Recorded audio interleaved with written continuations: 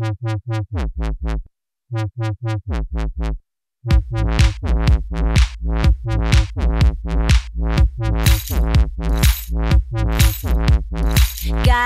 this endless